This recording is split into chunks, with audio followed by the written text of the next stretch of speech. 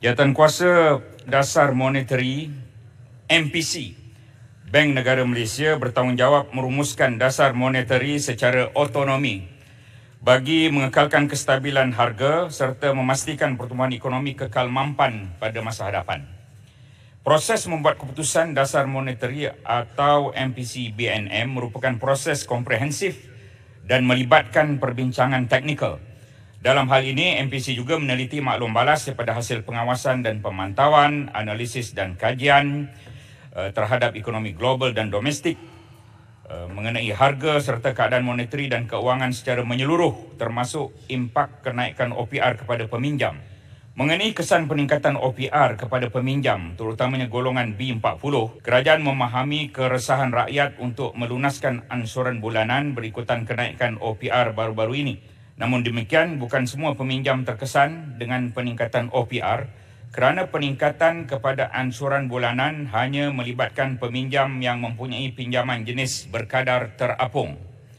Setakat Disember 2022, sebahagian peminjam iaitu 50.3% daripada jumlah akaun pinjaman dalam sektor isi rumah adalah pinjaman berkadar tetap berjumlah 6.4 juta akaun. Bagi peminjam berpendapatan rendah iaitu pendapatan kurang dari RM5,000 sebulan termasuk golongan B40 dianggarkan sebanyak 54.8% daripada jumlah akaun pinjaman adalah berasaskan kadar tetap melibatkan 3.5 juta akaun. Perlu ditekankan walaupun kenaikan OPR ini akan memberi kesan kepada peminjam dan penyimpan, langkah ini adalah wajar dan perlu bagi memastikan inflasi terkawal dan ekonomi terus mampan. Ekonomi yang sihat dan keadaan harga yang lebih stabil akan memberi limpahan yang lebih baik kepada semua rakyat.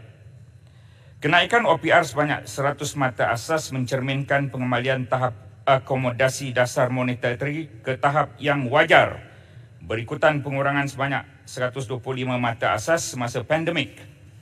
Oleh itu, bagi pinjaman berkadar terapung yang diambil sebelum pandemik, sebahagian besar daripada jumlah pinjaman terkumpul, jumlah ansuran bulanan pada masa ini masih lebih rendah berbanding jumlah ansuran sebelum pandemik iaitu 3%.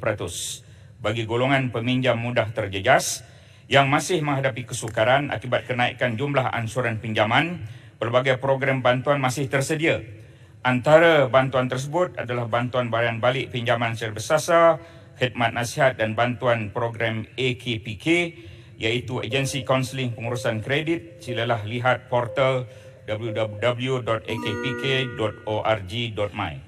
Terima kasih.